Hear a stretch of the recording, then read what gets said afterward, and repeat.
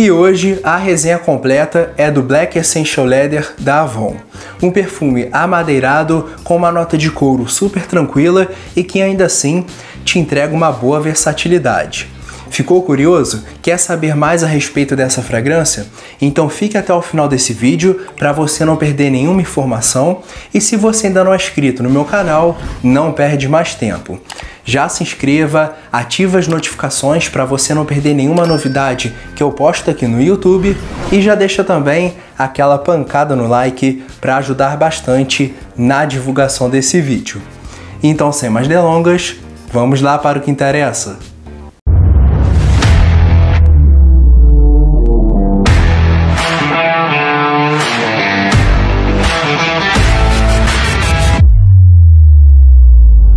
Se você procura um perfume amadeirado, com notas de couro, com aquele aspecto mais aquecido, um pouco mais ambarado e que ainda assim te entrega uma boa versatilidade, com certeza você vai se identificar demais com Black Essential Leather da Avon.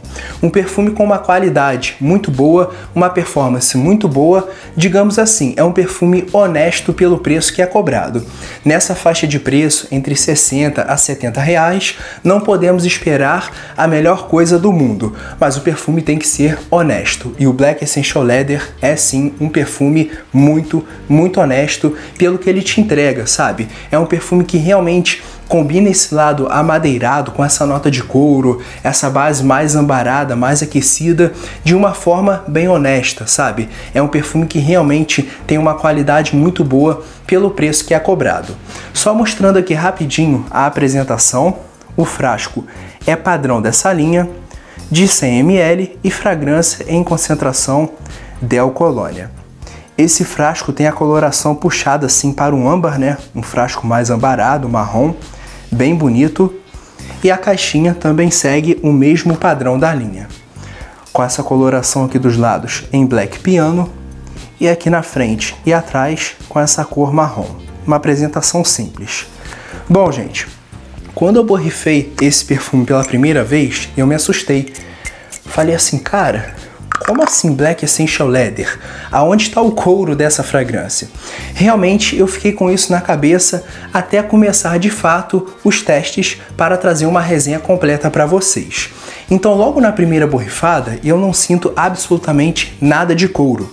Ele tem uma saída fresca, é isso mesmo, fresca, aromática, extremamente agradável com bastante sálvia, trazendo aquele aspecto verdinho, aromático, até mesmo um pouquinho mentolado, sabe? Ao lado da especiaria mais fria de gengibre. Então, assim, é minha especiaria favorita e tá muito presente aqui. Ele é carregado na sálvia e principalmente no gengibre logo nos primeiros segundos iniciais. O que é muito bom por sinal, ele me causou essa surpresa. É um perfume que tem essa abertura mais fresca, mas ele vai ficando assim um pouquinho mais fechado de acordo com a sua evolução. É descrito também na pirâmide olfativa a nota de cactus. Então assim, com muito esforço, eu consigo perceber uma nuance mais verdinha, puxando para um lado assim mais aquoso, sabe, do cactus mesmo, mais pouca coisa. O que predomina aqui na saída é a nota de sálvia e também a nota de gengibre. Mas assim, gente, embora essas duas notas mais frescas se apresentam de forma até agressiva na abertura do perfume, são notas assim que não duram tanto, tá? No máximo 5 minutos e eu não consigo sentir esse lado mais fresco, porque a fragrância vai ficando mais amadeirada. Eu sinto muito cedro aqui nessa fragrância, trazendo aquele toque amadeirado mais robusto, mais ressecado, bem masculino, sabe? Ao lado da nota de vetiver que apresenta assim uma característica é, mais leve, sabe? É um vetiver. Como é que eu posso explicar para vocês? Ele tem aquele aspecto enraizado, só que de forma mais tranquila, de forma mais suave, tá? Então ele traz um equilíbrio aqui no meio dessas notas amadeiradas. Embora essas notas amadeiradas sejam listadas como notas de base, eu já sinto logo no começo, depois de uns 5, 6 minutos, conforme essas notas mais frescas vão se dissipando, essas notas amadeiradas vão ficando mais evidentes. E aí muita gente deve estar se perguntando: e a bendita nota de couro? Aonde que tá? Gente, é uma coisa assim surreal. Quando o perfumista criou essa fragrância, na própria pirâmide olfativa você consegue perceber que tem couro nas notas de coração e também nas notas de base. Ou seja, duas vezes a mesma nota aparecendo na pirâmide olfativa é porque o perfumista quer enfatizar aquela nota. Mas isso não acontece aqui. Ele é um perfume mais ambarado, mais aquecido e mais amadeirado do que um perfume couro. Então você sente o aspecto do couro? Sim, de forma mais tranquila, mais suave, como se fosse uma camurça. Ele não tem aquele aspecto de couro mais agressivo de banco de carro, jaqueta de couro, nada disso. É como se fosse uma camurça. Então, assim, não traz um peso muito grande na fragrância, mas traz requinte e versatilidade. Então, um dos poucos perfumes nacionais com nota de couro, notas amadeiradas, que você consegue utilizar durante o dia a dia, sabe? Porque ele tem esse lado amadeirado, ele tem uma nota de âmbar aqui na base que se apresenta de forma bem evidente na minha pele, deixando o perfume mais aquecido, até um pouquinho mais sensual, sabe? Sem comprometer a versatilidade. E é descrito também uma nota de flor de tabaco, que está presente aqui de forma bem suave, mas eu sinto ela como se fosse assim é, para fazer uma cama para essas notas amadeiradas e essa nota de couro, sabe? Para fazer uma ponte. Eu não sinto essa flor de tabaco com tanta evidência. De fato, se a nota de couro se sobressaísse mais, junto com as notas amadeiradas e esse tabaco, aí o perfume ia ser muito mais porreta.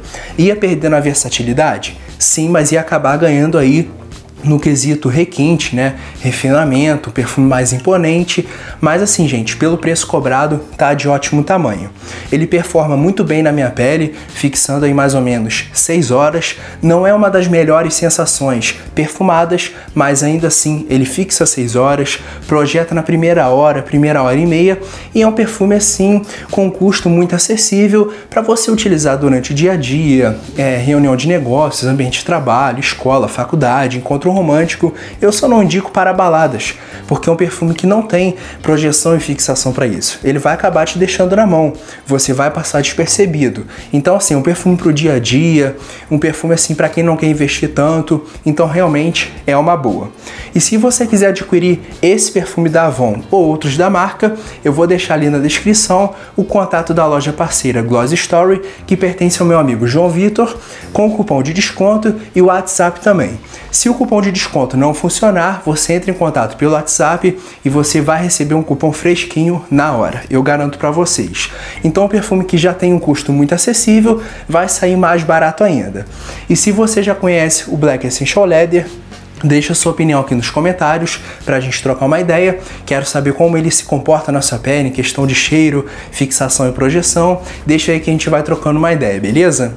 E eu vou ficando por aqui. Quero convidar novamente a você que chegou até o final desse vídeo e ainda não é inscrito no canal, que já se inscreva, ativa as notificações e já deixa aquele like, aquele joinha para fortalecer e ajudar bastante na divulgação desse vídeo.